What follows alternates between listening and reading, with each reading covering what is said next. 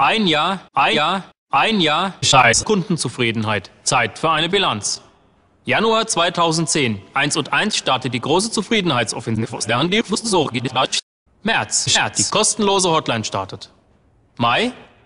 Wir schaffen die Vertragslaufzeit. August. Das 1 und 1 Kundenforum geht offline.